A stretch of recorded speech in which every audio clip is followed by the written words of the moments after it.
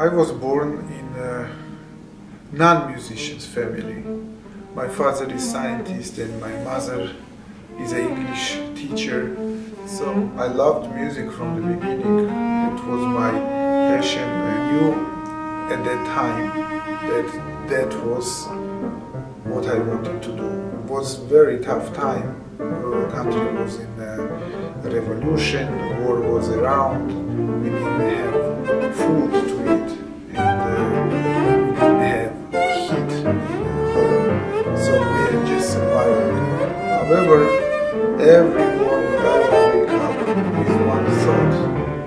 and what would make me happy that I could practice uh, and I could uh, create music and that I would always choose uh, Rachmaninoff's second piano concerto by Richter performing or or Chopin ballads. I think I, I don't know why, but these uh, spoke to me for some reason.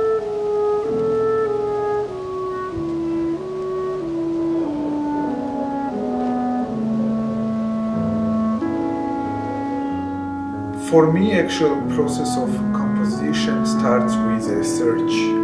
I, uh, I take time to find material, first of all, that uh, con- connects to me in a way, emotionally, mentally, philosophically. I need to feel that this material is something that I really want to uh, bring out. It's a quite a uh, takes quite a while before you're really ready to start writing. And when it's uh, writing process is when I already know what is there for me to write. When I work in one piece, uh, this piece is entirely in my system. And that's period of time when you are in this music every second, 24 hours, even when you sleep.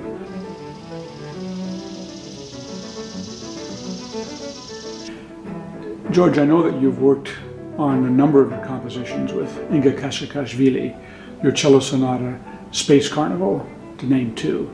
I wonder if you could talk a little bit about how that collaboration works.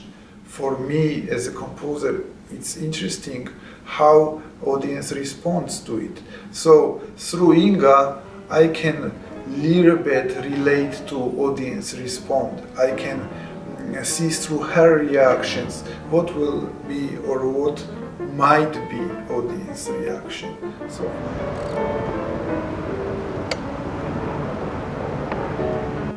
I wonder if you could talk a little bit about the mentors that have influenced you most in your development as a composer. Um, I want to talk about uh, Richard Danielpour, who who is my mentor and friend and uh, he helped me so much in my music career. A technical part of music writing I uh, received from Justin De La Dello Joio and uh, he did an uh, amazing uh, job with it. So I was ready, I knew how to write music uh, well on paper mm, thanks to Justin. With Richard, our work was completely different.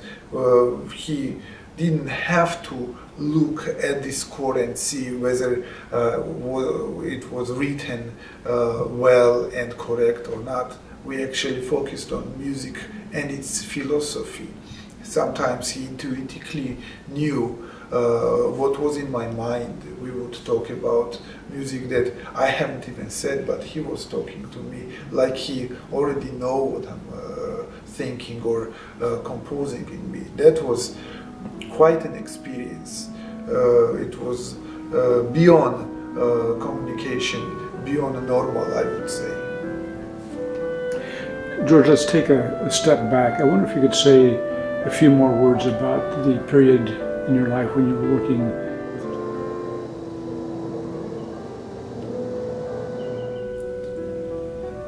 If, if I say what uh, composer made me to become a musician, I would say Chopin and Bach.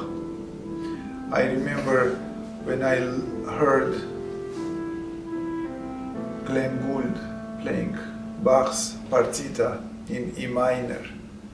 I heard uh, this on TV back in Georgia. I was little, 13, 14 years old. I, I was under such a huge impression that I didn't want to do anything else than that in my life.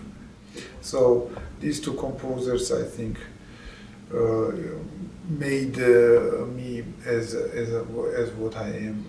Uh, and then I would say Robert Schumann also did a great impact on my formation. Um, and Prokofiev and Rachmaninoff, of course, and uh, Stravinsky, and uh, many other composers as well. However, I think uh, it is important, beside your influences, to remain your own self. This is, I think, task number one for a composer to uh, be able to have your own signature while you have all of these influences aside.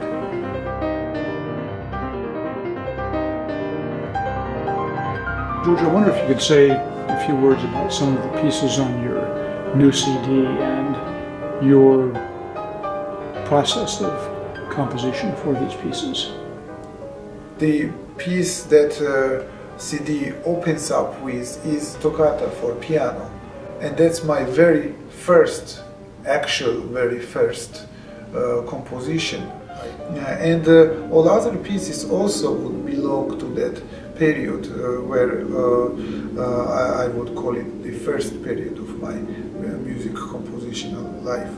And each music composition to me is different in, in terms of character, in terms of shape, in terms of, in terms of Uh, instrumentation and so on and so forth.